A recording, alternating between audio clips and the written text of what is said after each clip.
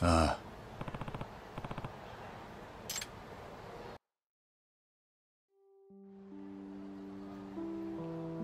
私はあまり人と言葉を交わすことが好きじゃなかったから殻の中でずっとぬるく生きていけたらいいって思ってました。でも初めてあなたとこの場所で出会ってから私の中の世界が大きく変わったんです。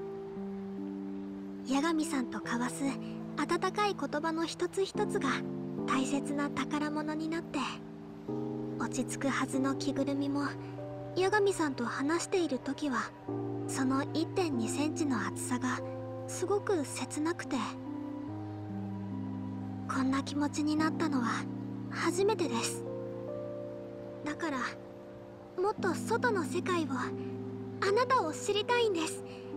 そのために最後の殻を破ります。八神さん一日だけじゃない。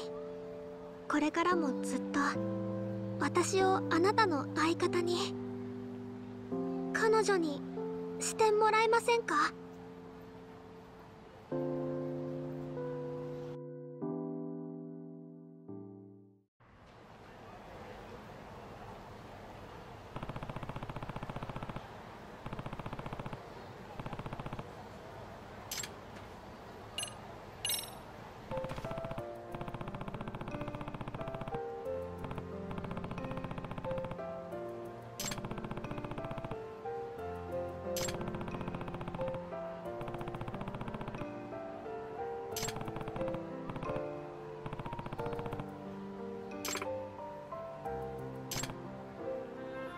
ん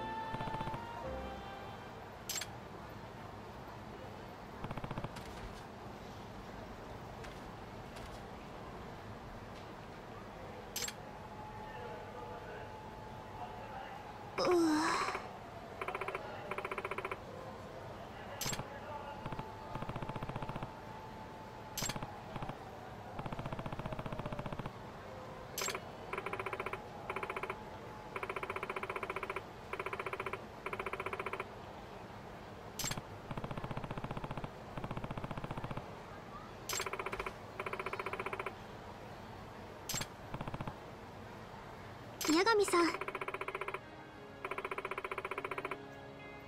湊ちゃん。あの。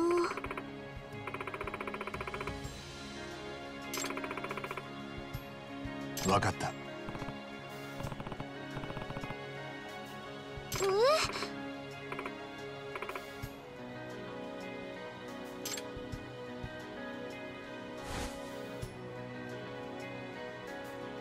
高之さん。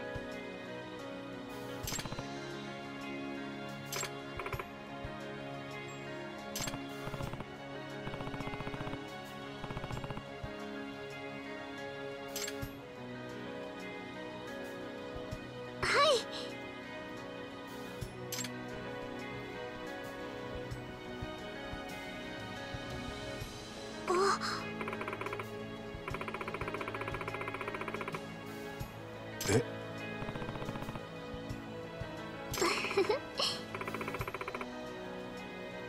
ハハハハ